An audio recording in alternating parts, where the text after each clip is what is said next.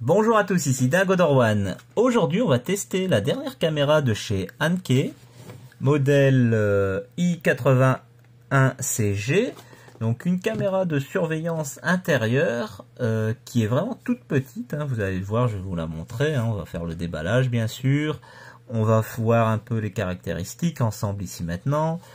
On va aussi procéder à la connexion, installation de la carte micro SD, et on va voir, moi je vais la tester pendant quelques mois et on va voir ensemble si elle est efficace ou non cette petite caméra. Qu'est-ce qu'ils nous mettent sur la boîte déjà? Crater Pro caméra, donc crater, euh, bah, je pense que c'est pour cratère, donc je sais pas comment traduire ça exactement, mais bon.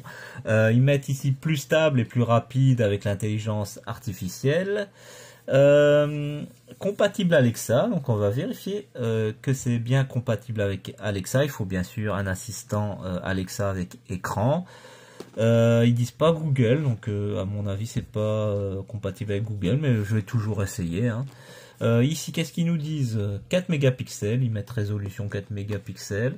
bon, c'est plutôt la lentille qui est de 4 mégapixels, mais j'ai vérifié la résolution, elle est de 1440p.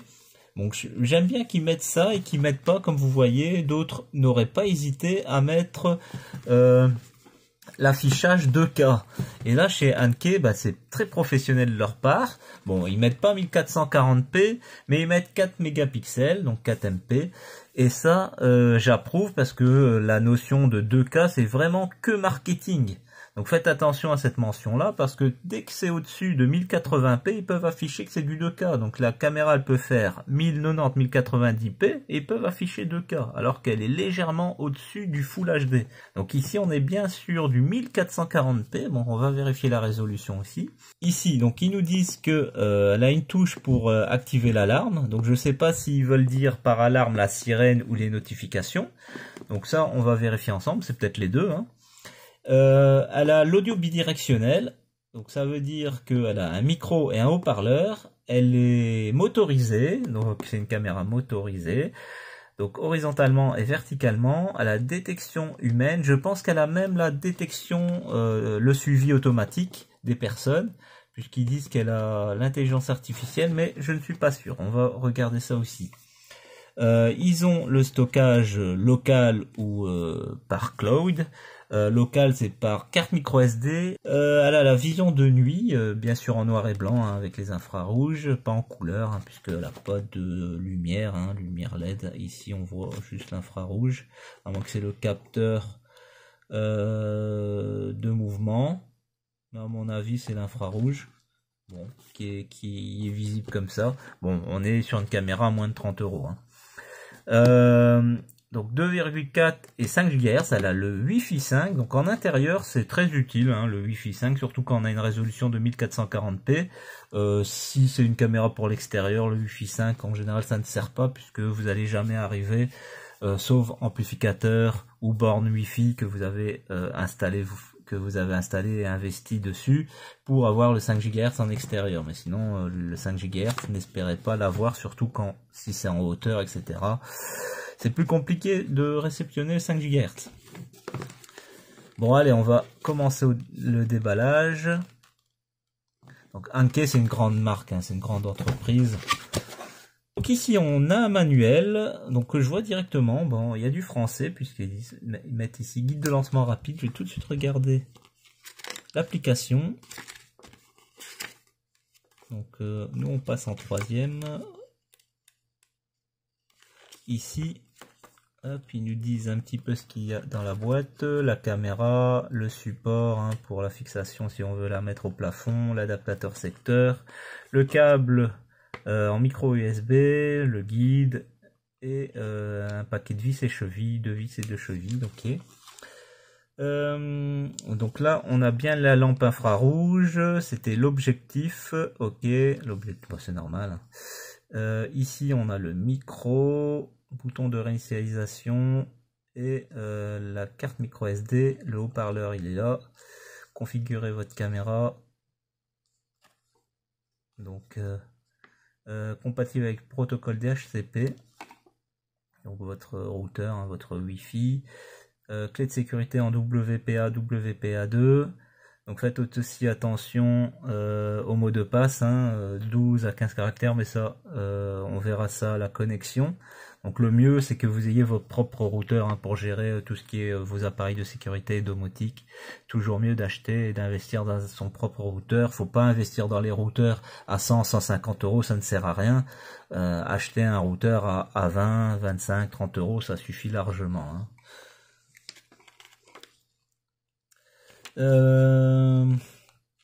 donc l'application, c'est bien l'application Anke. Donc télécharger My Anke et se connecter. Ok, donc l'application s'appelle My Anke. Donc c'est ça que je voulais savoir en priorité. On va ici sortir la caméra.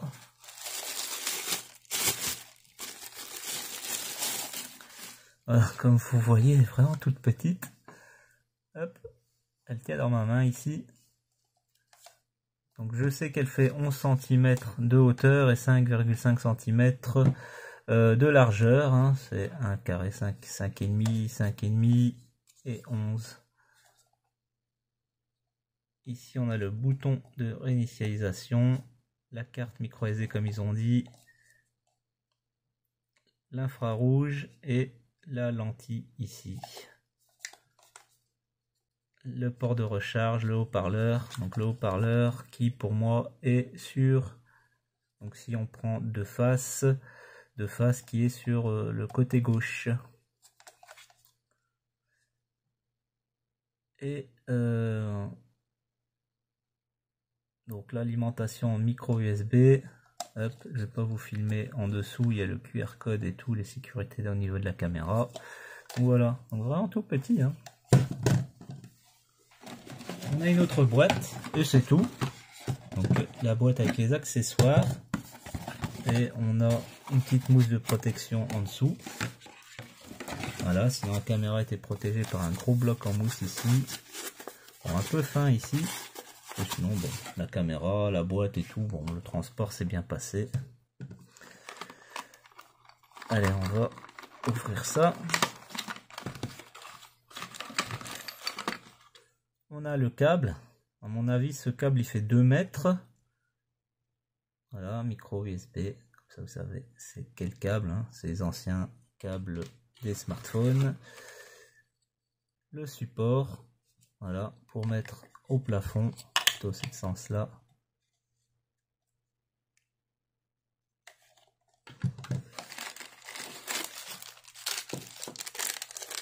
Deux vis et deux chevilles. Et l'adaptateur secteur, ça c'est sympa qu'ils le mettent. Voilà, donc 5 volts, 1 ampère.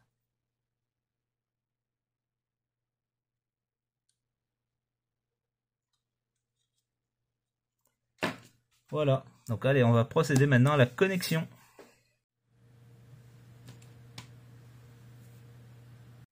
J'ai trouvé l'application, il suffit de taper MyAnke, l'application est disponible déjà sur le Play Store et l'Apple Store si vous avez un iPhone. Donc on va ouvrir l'application. Là, il nous demande directement saisir ce nom d'utilisateur ou le mot de passe, mais comme on n'a pas de compte, bah, on va cliquer, je suppose, sur s'inscrire. Voilà, on va s'inscrire, donc on va indiquer son adresse mail et le mot de passe que l'on souhaite. Moi, je vais faire ça et on se retrouve euh, pour euh, le rajout. Voilà, maintenant je suis connecté à l'application, donc faites attention, petit détail, vous avez une seule minute, hein, une petite minute pour introduire le code que vous avez réceptionné via l'email. Hein, une fois que vous êtes inscrit, vous recevez un code, vous avez une minute pour, euh, pour l'introduire, pour accéder à cette interface-là et pour valider votre inscription. Donc là, c'est bien, ça s'est bien passé, donc euh, j'ai même pas mis 30 secondes pour euh, me créer un compte. Donc ça, c'est très rapide. Donc votre liste d'appareils est vide, cliquez sur le coin supérieur gauche, plus ajouter un périque. Donc on va rajouter la caméra. la caméra, elle est là. Euh, donc je vais autoriser la localisation lorsque j'utilise l'application. Je vais faire autoriser. Caméra intelligente. Voilà. Allumez l'appareil et rapprochez-le du routeur Wi-Fi. Euh, donc on va prendre le câble qui nous fournissent.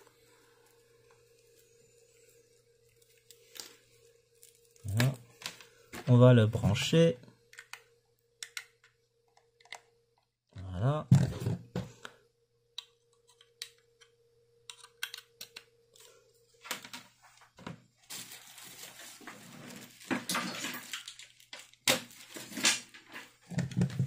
On va alimenter la caméra. Pour moi, c'est une première connexion. Hein. Donc, si j'ai un souci, ben, c'est pas bon signe.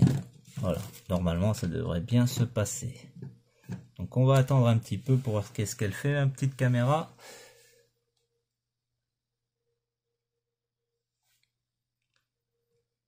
Donc, apparemment, elle fait rien pour le moment. Je vais dire que je vais mettre qu'elle est sous tension. Les autorisations suivantes sont requises avant l'utilisation, prendre des photos et des vidéos. Je vais accepter lorsque vous utilisez l'application. Scanner le QR code sur le boîtier de l'appareil pour obtenir l'identifiant. Donc là, je dois aller en dessous, ça se trouve en dessous de la caméra, je vais scanner le QR code. Voilà, on a attendu un petit bip de la part de la caméra. Euh, donc là, ils nous disent connexion sonore qui est recommandée, connexion par QR code, scanner le code QR pour configurer le Wi-Fi, ou euh, par câble Ethernet. Donc euh, par câble Ethernet. par câble Ethernet, c'est pas possible puisqu'elle n'a pas de port Ethernet. Donc ce sera connexion sonore. Donc là, la caméra le Wi-Fi 5 GHz, donc je peux rester sur mon Wi-Fi 5 GHz. Si vous êtes en connexion automatique, normalement, ça ne devrait pas poser de problème, puisque là, je pense qu'on a le choix, mais on va toujours, parce que j'ai eu des problèmes avec euh, des caméras 5 GHz qui voulaient pas faire la première connexion sur le Wi-Fi 5 GHz. Donc j'ai dû me mettre sur 2,4 GHz pour faire la première connexion. Donc ici, je vais introduire mon mot de passe Wi-Fi.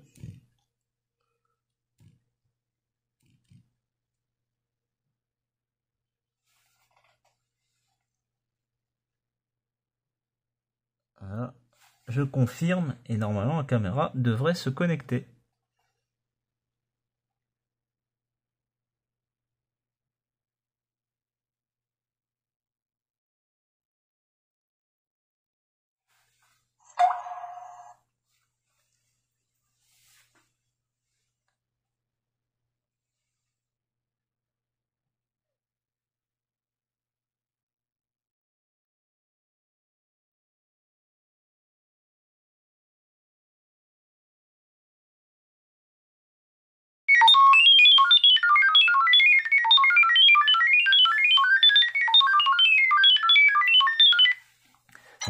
Pendant la configuration.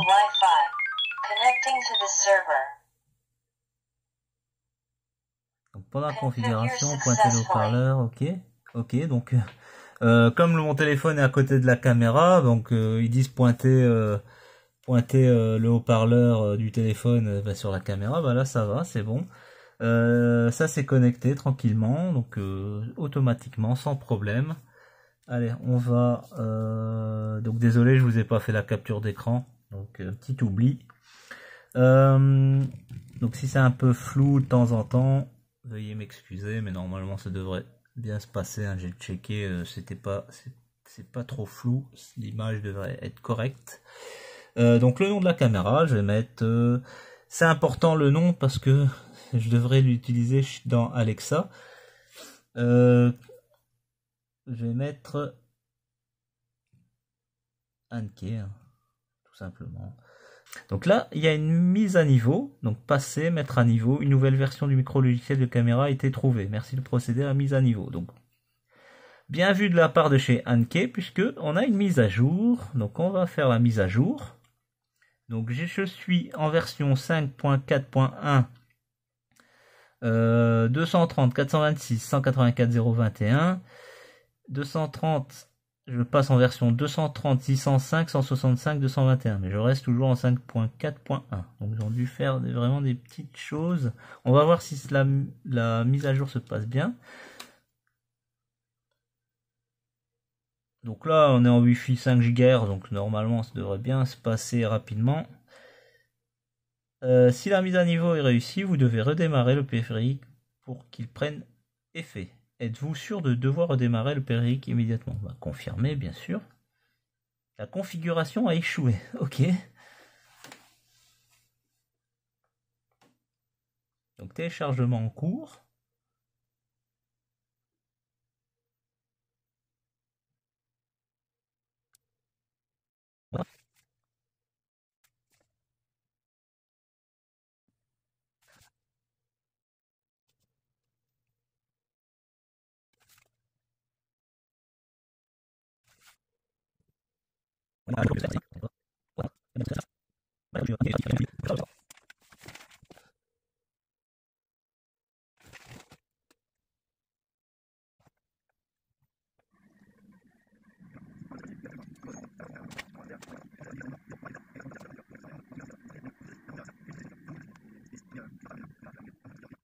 Donc la mise à jour s'est bien passée, donc euh, directement, donc ça c'est cool, donc ça c'est bien. Maintenant ce qu'on va faire, ben, on va installer. Euh, les autorisations suivantes sont requises avant utilisation. Accepter lorsque vous utilisez l'appli. Voilà, on va couper le son. Donc ça c'est cool parce qu'il demande toutes les autorisations, comme c'est une application que je ne connais pas.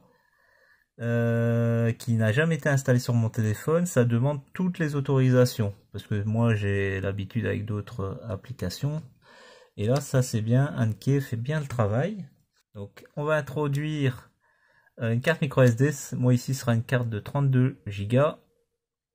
Donc je vous mettrai des, les liens euh, de bonnes cartes micro SD en description si ça peut vous intéresser. La caméra accepte des cartes micro SD de maximum 128 Go, donc ne mettez pas une carte supérieure à 128 Go dans la caméra. un petit peu difficile, tiens.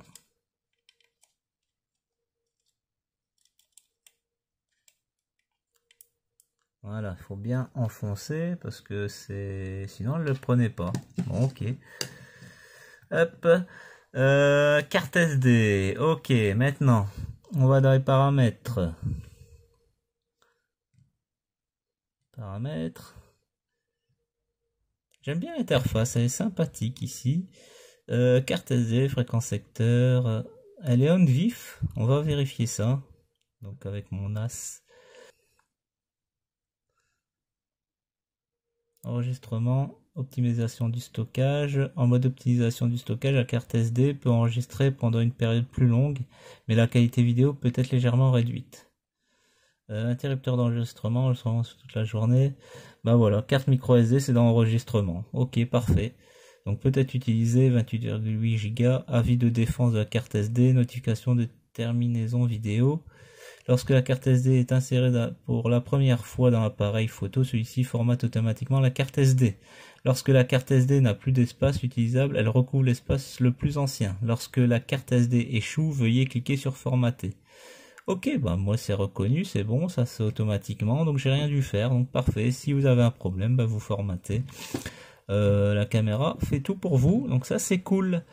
Voilà, donc moi je vais l'installer ici la caméra dans mon salon. Allez, regardons maintenant l'application en détail, l'application My Anke pour la caméra Anke donc disponible bien sûr sur le Play Store de Google et l'Apple Store au niveau d'Apple. Je n'ai pas d'iPhone, donc je ne serai pas vous montrer sur iPhone. Ici, on va regarder ça sur Android. Donc l'application, la première interface, vous voyez ici, ben, on vous l'avait vu euh, lors de la première connexion. Donc on clique sur la première interface et là on accède à la vision en direct de la caméra. Donc on peut bien sûr faire filmer en direct ici. Donc si je vois un individu, je peux filmer et la vidéo sera sauvegardée sur mon téléphone. Je peux aussi faire une photo. Je peux déclencher la sirène d'alarme si je le souhaite. Donc je peux déclencher la sirène d'alarme, ça va faire sonner la sirène de la caméra. Voilà, je désactive. Donc euh, je peux entendre ce qui se passe dans la pièce puisque la caméra a un haut-parleur et un micro. Ici je peux mettre le micro en marche et entendre ce qui se passe dans la pièce. Ici, on a l'onglet pour la vision de nuit. Donc, c'est mis sur en automatique. Donc, automatique, ça veut dire que dès qu'il fera nuit, bah, la caméra va se mettre en mode nuit et va activer l'infrarouge. Donc, elle n'a pas la, vision de nuit en couleur puisqu'elle n'a pas de euh, lumière LED. Ensuite, on a la résolution de l'image. Donc là, c'est mis sur 4 mégapixels. Donc 4 mégapixels, ça veut dire qu'elle va filmer en 1440p tout le temps. Après, vous pouvez la mettre en standard. Donc là, ça va filmer en 1080p. La mettre en net et là, ça va filmer en 720p. Ensuite, vous pouvez mettre la caméra en auto si vous le désirez. Et donc là, c'est la caméra qui va choisir, selon votre réseau, la meilleure résolution. Vous allez remarquer qu'il n'y a pas de mode de confidentialité. Donc la caméra euh, on ne sait pas faire rentrer par exemple euh, la lentille ou la désactiver facilement. Donc la caméra sera toujours active. Donc il n'y a pas un mode de confidentialité pour dire que la caméra ben s'éteint s'éteint s'éteint quand vous rentrez chez vous. Donc ça il n'y a pas de mode automatique pour faire ça. Ensuite, donc vous avez le parlophone ici, donc le parlophone, vous devez rester appuyé longuement et là tout ce que je dis, ça c'est diffusé euh, à travers le haut-parleur de la caméra. Donc ça, je vais vous montrer si ça fonctionne bien ou pas, je vais vous montrer maintenant. J'appuie et de l'autre côté en montant. Donc je vais euh, ici, bah, on, va, on va écouter ce que ça donne hein, pour voir si l'autre interlocuteur peut bien m'entendre correctement, si le son n'est pas assuré, s'il n'y a pas de micro-coupure, s'il n'y a pas de bug, si le, son est assez puissant, euh, même si je parle ici euh, normalement, hein, raisonnablement, comme on le ferait sur un téléphone, hein, pour voir si le son et la diffusion est, est correcte, et le son, voir si le son bien sûr est, bon et pas trop de saturation au niveau de ma voix. Et bon voilà, on, va, écouter ça ensemble. Allez, maintenant on va tester le micro. Donc euh, il faut activer ici le, le, micro ici de la caméra pour entendre ce qu'on va entendre. Donc je vais m'avancer dans la pièce et on va écouter si le son euh, ça va ou s'il y a des coupures. Donc s'il y a des coupures, c'est que c'est pas bon. Euh, et il faut que le son soit clair aussi. Hein.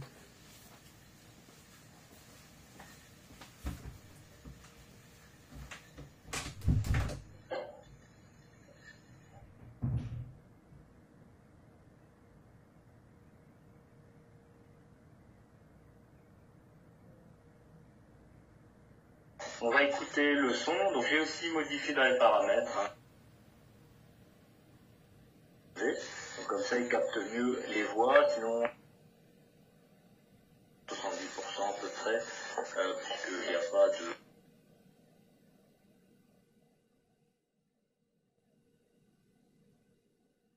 Et bien capturé ou non. Là, je suis juste à côté de la pour voir si euh, bah, ça peut euh, capturer quand même. Voilà, j'ai enlevé le suivi auto euh, des mouvements. Comme ça, on va voir si ça interfère pas avec le micro parce qu'il y a trop de coupures et je pense que c'est dû dès qu'il y a un petit mouvement de la caméra parce qu'il y a le suivi auto des mouvements qui est activé. Donc je pense que c'est ça qui fait couper le micro. Donc je vais tester sans le suivi auto. Donc je vais activer ici le son. Voilà, le son est bien à fond. Maintenant, je vais voir au niveau de la caméra pour voir si le son est bien retransmis ou non.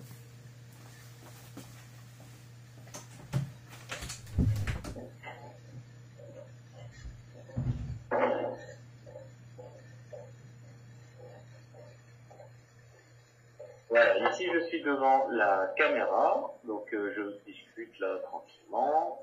J'espère qu'il n'y a pas de coupure parce que avec le suivi auto des mouvements, ben, il y avait beaucoup trop de coupures, donc c'était incompréhensible, on ne pouvait pas communiquer avec quelqu'un avec ces coupures-là.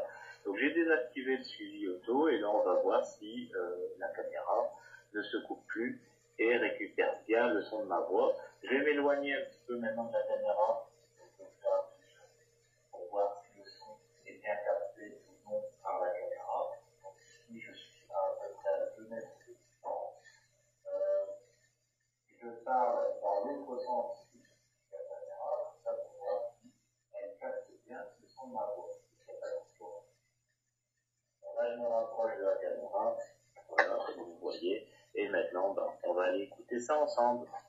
Donc après, vous avez la roue édentée, donc là, pour faire les réglages. Donc là, vous avez à propos, donc dans à propos, vous avez euh, le, nom de la caméra. Si vous voulez changer le nom de la caméra, vous pouvez le faire maquette, donc F300 pour le, nom du modèle de la caméra. Version du firmware, donc je suis en V5.4.1.230, 605, 165, 221 et la référence de mon appareil. Euh, mise à niveau de l'équipement, donc ça c'est si je veux faire une mise à jour. Donc j'ai eu une mise à jour euh, quand j'ai reçu la caméra, donc ça parfait. Donc ça veut dire que Anke fait, fait un suivi de leur caméra. Donc ça c'est déjà bien. Donc la date et heure. Donc ici, vous voyez, donc c'est normalement c'est pré-réglé automatiquement, donc vous n'avez pas à changer. Donc je peux redémarrer la caméra ou je peux restaurer les valeurs par défaut. Donc si j'ai fait des mauvais réglages ou autre, vous voulez la restaurer par défaut, bah vous pouvez, si vous voulez la vendre par exemple, bah, restaurer là et effacer et effacer euh, la caméra de votre application. Donc là je peux définir le mot de passe. Donc je peux définir le mot de passe pour accéder à la caméra. Je peux partager le périphérique avec sa famille. Hein. Si vous voulez partager avec votre femme, vos enfants, etc. ou la famille, ben, vous pouvez partager la caméra. Euh, donc je vais vous montrer. C'est pas aussi facile que ça. Il y, a un bouton partage, mais c'est pas aussi facile que ça puisque après avoir entré le mot de passe de l'appareil, veuillez cliquer sur le bouton ci-dessous pour générer un code QR. Laissez votre famille ou vos amis installer Mianke App, enregistrer à nouveau un compte, puis votre famille ou vos amis scannent ce code QR via sélectionner le type d'appareil, type de caméra sur la page ajouter un appareil code pour ajouter un équipement. Il faut quand même scanner un code QR. Donc vous pouvez toujours envoyer le, code QR par email. Après il se débrouille pour euh, pour euh, accéder au code QR pour installer la caméra. Donc ça c'est à vous de voir comment faire là-dessus. Donc alarme. Donc au niveau d'alarme, donc vous avez détection de mouvement.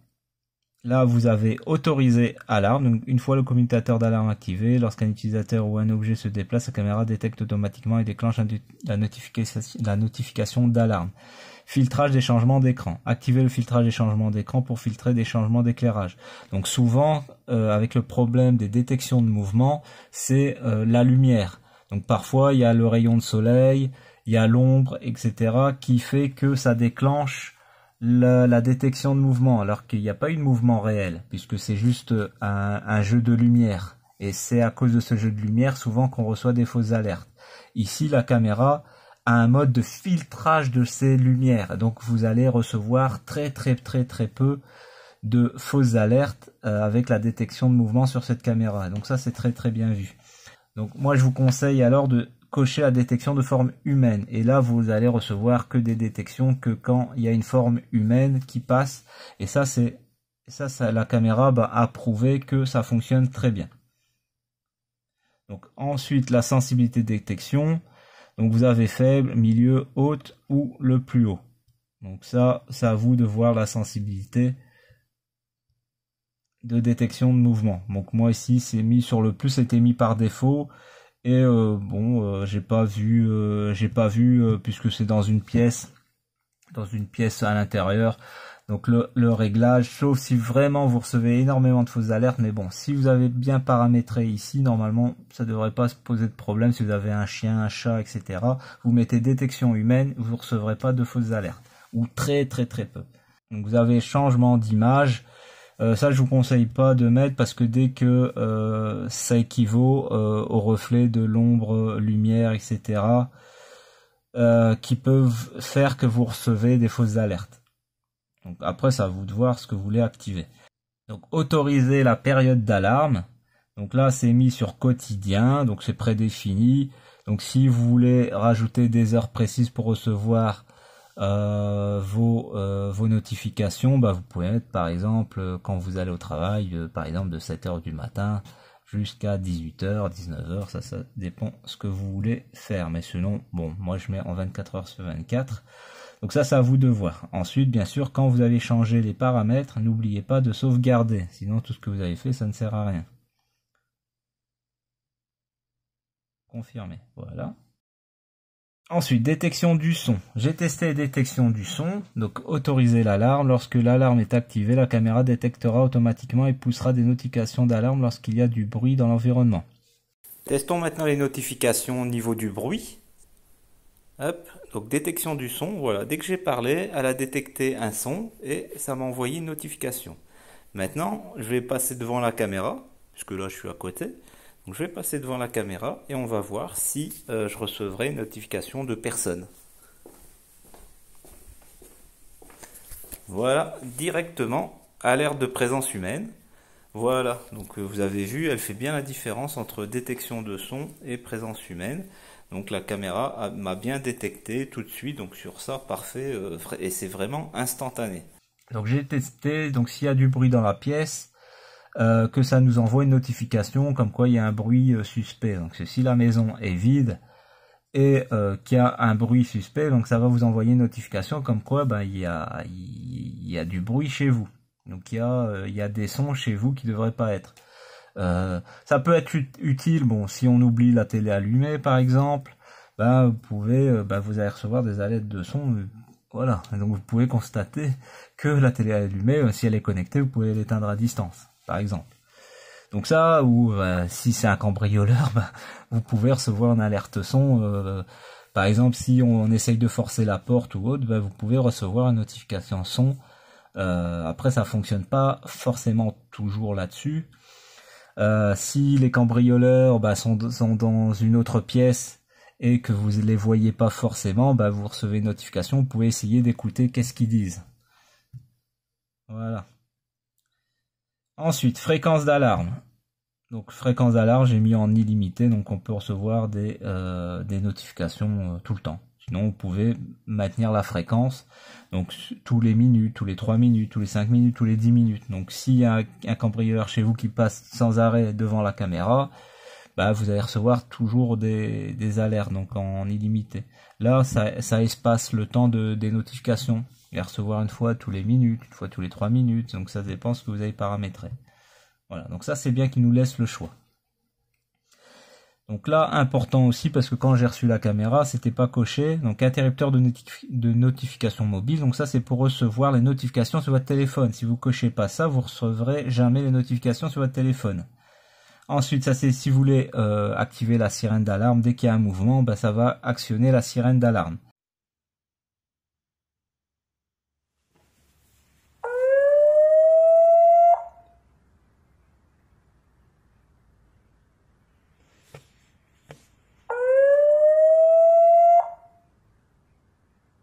Donc si moi je décoche parce que je préfère les alarmes silencieuses. Sinon, suivi mobile. Après avoir déplacé le suivi, la lentille de la caméra suivra le mouvement des objets en mouvement. Donc ici, on a un suivi, pas des personnes, mais un suivi des objets. Donc si je passe la caméra, la caméra va me suivre. Et ça fonctionne pas euh, très très bien. Donc c'est un peu trop lent au niveau du suivi.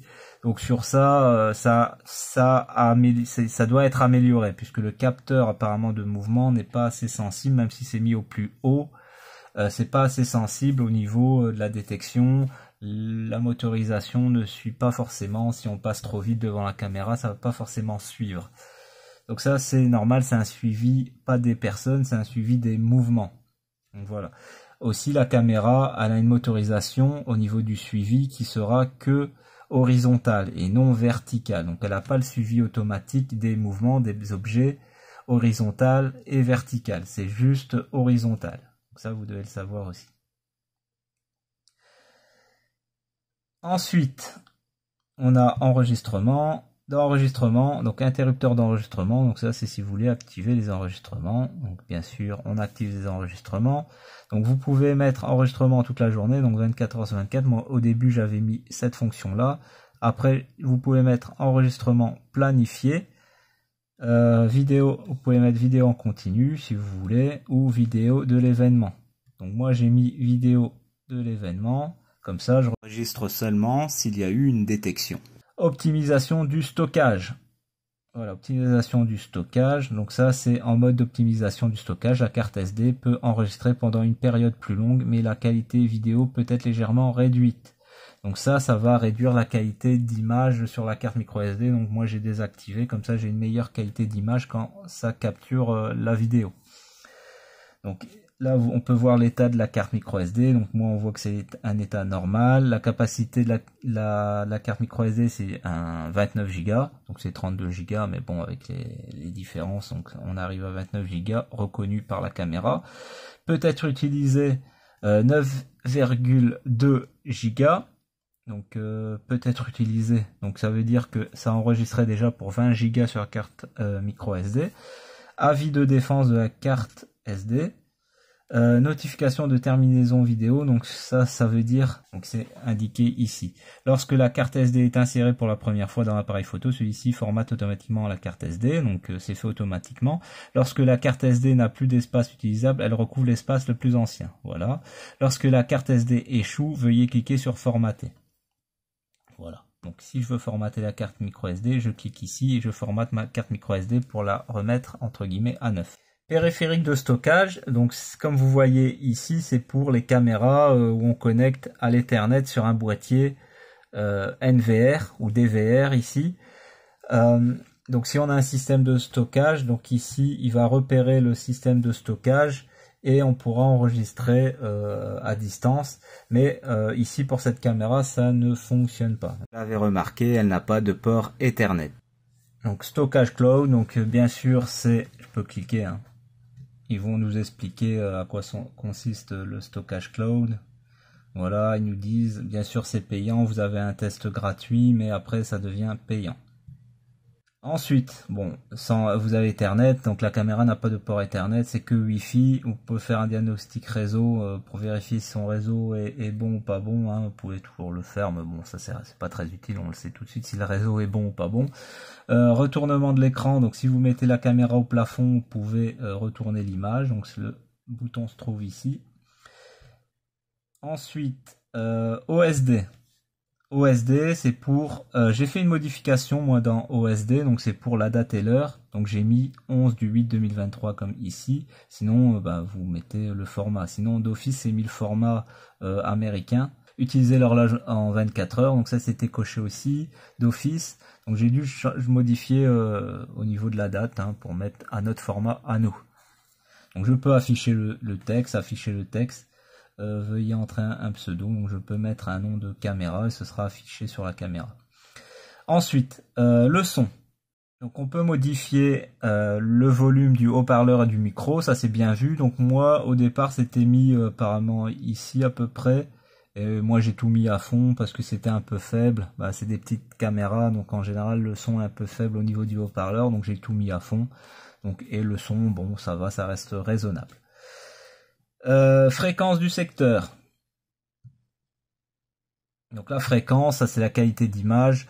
En général, ici en Belgique ou en France, vous allez mettre sur 50 Hz. La fréquence d'alimentation utilisée par les différents pays est différente. Lorsque la fréquence définie par l'appareil photo est différente de la fréquence d'alimentation actuelle, la, vidéo peut scintiller. Donc si vous voyez vraiment des scintillements et une mauvaise qualité d'image, donc euh, essayez de changer la fréquence, mettez en 60 ou 50. Si c'est mis sur 60, mettez sur 50. En tout cas, en Belgique et en France, le mieux en général, c'est 50. Sauf si vraiment il y a vraiment trop trop de soleil. Donc vous pouvez regarder à faire un réglage en 60 ou en 50. Donc ça, c'est à vous de voir. Euh, Amazon Alexa. Donc ici normalement on a accès pour lier la caméra Alexa. Donc j'ai essayé de lier via euh, l'application directement, ça n'a pas fonctionné. Donc ce que j'ai fait moi, je vais vous montrer que ça fonctionne bien avec Alexa. Mais moi ce que j'ai dû faire, c'est que j'ai dû euh, télécharger le skill sur l'application Alexa, l'ajouter moi-même. Donc via l'application ici euh, MyAnke, ça n'a pas fonctionné. Donc j'ai dû télécharger le skill directement sur Alexa. Donc si jamais vous avez un souci, téléchargez directement le skill sur Alexa et la caméra sera reconnue et rajoutée directement et ainsi vous pourrez visionner euh, les vidéos sur euh, votre assistant vocal avec écran bien sûr. Donc ça ne marche pas avec Google, même MyAnke ou Anke n'existe même pas dans Google. Voilà, testons maintenant sur l'Echo Show 5 d'Amazon hein, Alexa, donc avec Alexa. On va voir euh, si ça fonctionne bien ou non, s'il y a de la latence ou pas. Euh, j'ai renommé l'appareil pour que ce soit plus facile quand euh, je demande à Alexa. Donc j'ai renommé l'appareil DD, hein, la caméra je l'ai appelé DD. Alexa, diffuse caméra DD. D'accord. Voilà, donc euh, ça, ça va diffuser. Normalement, ça prend pas énormément de temps. Voilà, donc là, on est en direct.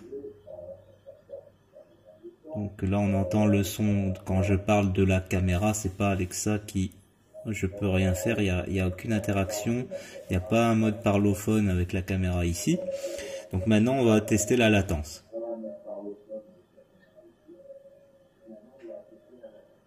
Déjà avec le son, on entend déjà qu'il y, a un décalage.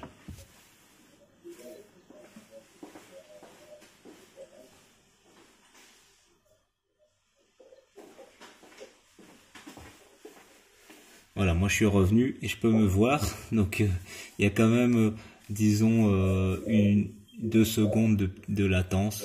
Donc ce qui est, ce qui peut être normal, mais c'est quand même une petite latence de 2 secondes. Donc au niveau de la diffusion, il y a un petit décalage. Alexa, stop la diffusion. Après ici on voit que la caméra est un vif. Donc je peux ouvrir le port et je vais vous montrer euh, que j'ai pu rajouter la caméra sur mon NAS. Comme ça je vais vous montrer ça. Comme vous pouvez le voir ici, j'ai bien rajouté la caméra. Donc la caméra est bien reconnue comme on-vif. Hein. je l'ai bien rajouté comme caméra on-vif, compatible avec mon NAS. Malheureusement, le flux vidéo n'est pas diffusé. Donc je ne sais pas euh, à quoi c'est dû, mais c'est un blocage au niveau de Anke, ça vient pas de chez moi puisque je connais quand même les paramètres au niveau de mon NAS et comment rajouter euh, la caméra, mais le flux vidéo, il y a un blocage au niveau, euh, du flux vidéo qui vient de chez Anke que j'ai pas su résoudre moi-même puisque c'est Anke qui doit débloquer la situation pour cette caméra. Et ensuite ici, je peux supprimer la caméra.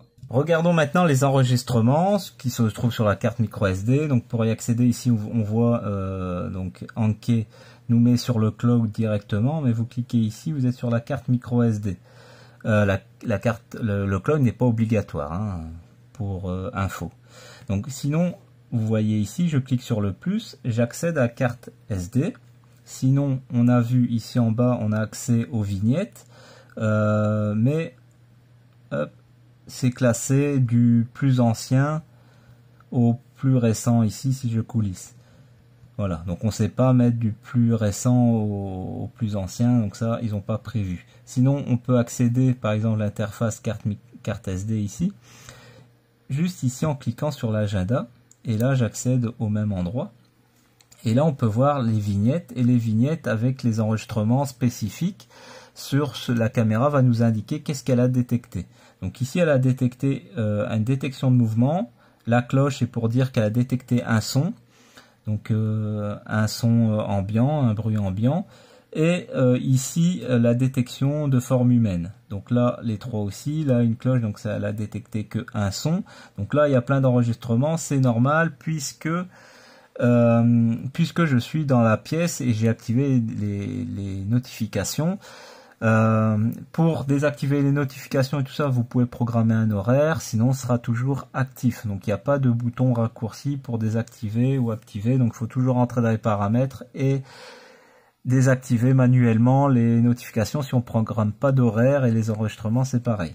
Voilà, il n'y a pas de euh, confidentialité, hein. il n'y a pas un bouton de confidentialité pour dire la caméra de s'arrêter facilement, euh, voilà, donc et de camoufler aussi la lentille pour être sûr que euh, ben, on ne filme pas. Donc il n'y a pas ce mode-là sur cette caméra. Donc là, vous voyez des petits euh, logos ici validés. C'est parce que j'ai effectué des téléchargements de ces vidéos-là. Donc par exemple, si je souhaite, disons, voir cette vidéo-là, voilà, donc je clique dessus pour voir qu'est-ce qui s'est passé. J'avance un petit peu. Donc là on me voit là-bas ouvrir un carton, donc c'est une nouvelle réception. Donc je peux pas vous montrer ça parce que c'est encore confidentiel au niveau de la réception ici. Je suis pas autorisé à vous montrer ce qu'il y a dans la boîte ici, mais je peux, par exemple, je peux la télécharger je télécharge. Donc on va retrouver le dossier de téléchargement. Vous avez ici mon téléchargement, vous cliquez sur mon téléchargement, vous allez sur téléchargement, et là la vidéo est en train d'être téléchargée sur mon téléphone. Voilà, c'est une vidéo de 1 minute 17, ça se télécharge quand même assez rapidement. Voilà, une fois que c'est téléchargé, bah, ça disparaît d'ici. Donc là, je vais sur mes téléchargements et je retrouve ma vidéo que je viens de télécharger ici. Donc elle fait 1 minute 17, donc c'est classé par ordre de, temps. Donc les vidéos, donc ici c'était la vidéo 13h21, 1 minute 17, c'est pour ça que j'ai repris cette référence là. Comme ça, on la repère plus facilement aussi, parce que sinon, au niveau du nom, c'est tous euh, au nom de Anke. Donc, je peux la visionner.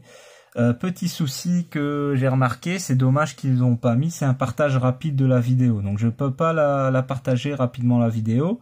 Euh, si je veux récupérer la vidéo, bah, qui est ici sur mon téléphone, pour la partager avec les autorités ou autres, bah, c'est un peu compliqué puisque ils ont prévu, donc si je retourne ici, je vous ai montré, euh, au niveau des photos, je fais une photo instantanée, donc la photo va se retrouver dans mon album photo.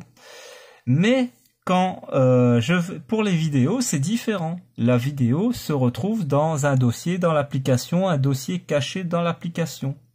Donc un dossier euh, un dossier dans un dossier dans un dossier dans un dossier. Donc pour récupérer vidéo, c'est quand même très compliqué. Il faut, il faut vraiment fouiller et connaître.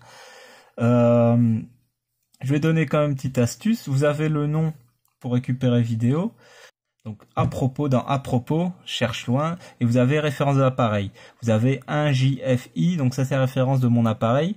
Donc quand vous branchez votre téléphone sur votre ordinateur, donc vous mettez cette référence là dans la barre de recherche quand bah, sur euh, la recherche quand vous êtes dans les dossiers de votre téléphone.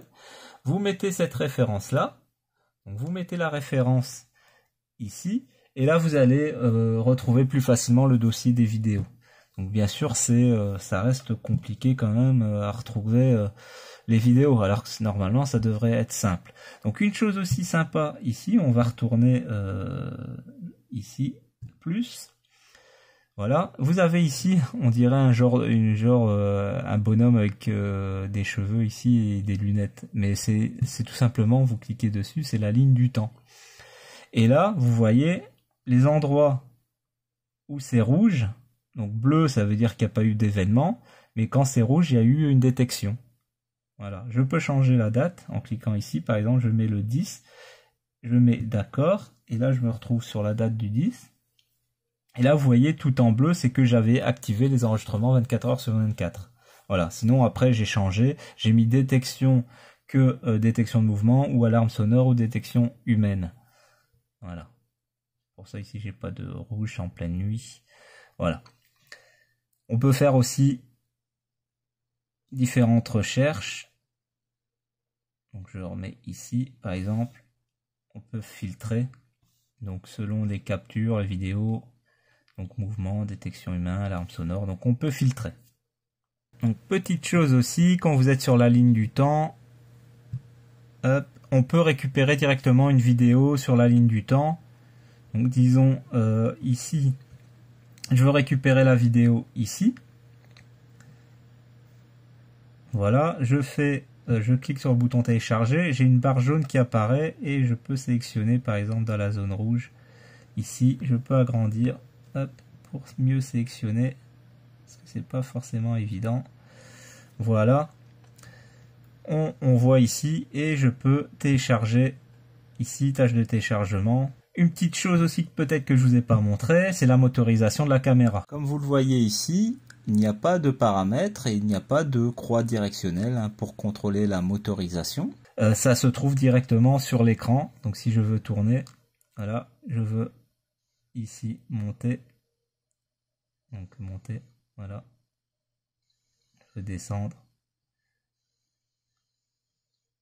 Voilà, donc c'est sur l'écran qu'il faudra euh, faire ça. Il n'y a pas de croix directionnelle pour faire la modification du mouvement du moteur. La caméra peut pivoter horizontalement à 350 degrés et verticalement à 60 degrés. La motorisation, ça va, elle n'est pas ni trop bruyante ni trop silencieuse. Euh, elle est entre les deux. Donc euh, au niveau du bruit, ça reste raisonnable. Maintenant, je pense que j'ai bien fait le tour de l'application. Si vous avez encore des questions, bien sûr, n'hésitez pas à me contacter euh, pour avoir euh, un peu plus de précision si vous avez mal compris quelque chose sur l'application. Allez, passons à ma conclusion. Déjà, les points négatifs. La caméra n'a pas de mode de confidentialité. La caméra nous enverra des alertes continuellement si on désactive pas manuellement. Ça, c'est un problème. Il n'y a pas de géolocalisation. Seuls les enregistrements peuvent être programmés. Le micro qui est de mauvaise qualité, le son est bien capturé mais le son est trop saturé. sans compter qu'il bug si on le coupe au suivi automatique. Le suivi automatique des mouvements, qui n'est pas un suivi des personnes, c'est juste un suivi auto, seulement horizontal et non vertical. Si la caméra n'est pas bien orientée, impossible de filmer un visage. Un suivi qui est trop lent, hein, qui peut être insuffisant dans des grandes pièces si une personne passe même normalement devant la caméra. La caméra est bien reconnue comme une caméra on vif, mais elle a aucun transfert d'image, aucun, flux vidéo. Donc j'ai bien testé avec mon NAS, mais bon, euh, on, ne voit rien. Donc la caméra se connecte bien à mon NAS en système on vif, mais bon, on n'a pas de flux vidéo, donc ça ne sert à rien. La caméra n'a pas non plus la fonction cruise, un balayage automatique de la pièce sur des points qu'on peut définir et on peut même pas définir des points tout court. La sirène d'alarme qui nous donne une alerte courte, un son un peu faible, une alerte courte, sauf si euh, on déclenche l'alarme manuellement avec l'option euh, qui est facile sur l'application, mais bon, c'est quand même une alerte courte quand il y a une détection de mouvement. La récupération des enregistrements vidéo sur son téléphone ou ordinateur qui est très compliqué, car la caméra ne crée pas de fichiers spécifiques. Elle n'a même pas de bouton de partage pour faciliter le partage des vidéos enregistrées. Anke nous indique sur l'application qu'on peut récupérer les vidéos directement sur la carte micro SD via un logiciel. J'ai testé pour voir si on pouvait récupérer le logiciel facilement, mais quand on tape le site internet qui nous indique, on arrive sur une page blanche.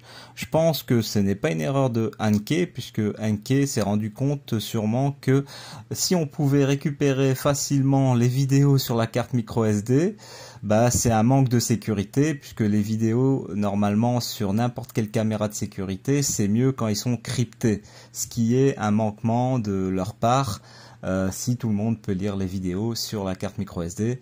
Bien sûr, c'est toujours lisable même si c'est crypté, mais il faut quand même des techniques euh, et quand euh, la marque nous indique les techniques pour le faire, c'est pas bon signe. Je trouve que c'est pas une très bonne façon de faire de la part de Anke. Nous, il devrait plutôt nous faciliter les téléchargements des vidéos sur l'application qui est censée être cryptée et le partage des vidéos via l'application pour mieux partager les vidéos si bah, on doit le partager rapidement pour les donner par exemple aux autorités. Ce qui devrait être mieux plutôt que bah, passer par un logiciel les récupérer euh, directement sur la carte micro SD etc donc ils ont aussi leur cloud mais bon ça c'est autre chose et c'est payant. Passons au point positif la qualité d'image qui est en 1440p sur du 2560, qui donne une image quand même très belle, de jour comme de nuit. Dommage, elle filme seulement en 15 fps, en 15 images par seconde, c'est le maximum, ce qui va donner une image qui sera moins fluide, un codage vidéo en H264+, et non en H265, ce qui aurait permis un meilleur rendu d'image, un meilleur transfert et téléchargement, un stockage moins élevé sur la carte micro SD. La caméra aussi a le Wi-Fi 5 GHz qui permet un streaming plus rapide sur son téléphone une application assez simple, une prise en main pour ma part assez rapide. L'application nous demande d'accorder facilement toutes les autorisations nécessaires pour bien réceptionner les alertes. On reçoit bien toutes les alertes d'intrusion en temps réel, mais il faudra quand même veiller à ce que l'application tourne bien en arrière-plan, sinon bah, vous ne recevrez jamais les notifications. La caméra peut bien filmer en 24 sur 24, 7 jours sur 7, ou seulement s'il y a un mouvement, une détection de personne, ou seulement un son ou bien les trois en même temps. Les notifications nous stipulent bien les différents types d'alertes et ça, je trouve ça sympa. En résumé, la caméra a la nouvelle maladie des fabricants, une caméra qu'on a essayé de greffer de la nouvelle technologie comme le suivi automatique, le Wi-Fi 5 GHz, juste pour dire qu'elle a l'option, juste pour faire vendre, des options non compatibles entre elles qui font bugger la caméra, Il aurait été préférable de faire en sorte qu'on puisse récupérer les, enregistrements plus facilement et qu'on puisse l'arrêter facilement et même automatiquement quand on rentre chez soi. Après son design et sa taille mini, on aimera ou on n'aimera pas. Son prix, moi quand j'ai eu la caméra, elle était affichée en promo à 30 euros, ce qui était un bon prix. Mais maintenant 50 euros, ça fait cher si on tient compte qu'on peut avoir légèrement mieux pour 50 euros. Malgré tout, la caméra va faire le travail, elle va bien enregistrer, vous envoyer les notifications au moment où vous en aurez besoin, elle évite correctement les fausses alertes grâce à la détection de personnes, elle a une bonne qualité d'image qui comblera ses défauts. Si vous avez encore des questions, n'hésitez pas, la chaîne et le blog ont été créés pour aider. Comme d'habitude, je remercie les anciens d'avoir regardé, commenté et liké et un grand merci d'avance aux nouveaux pour vous être abonnés. Moi je vous dis à la prochaine, c'était Dingo Dorwan. Every move was on the page, but I didn't like their way. Had to fight and misbehave, had to find a way to change, had to leave to find my way. Caught up in a daydream, I beat my mind up there almost daily. It's how I pass time, no opinions safely. It's how I understand what I want in this place, see? Cause everybody wanna tell you bad things. What could go wrong, what fame brings But success is a finicky thing. And if you ain't sure, no, it'll never be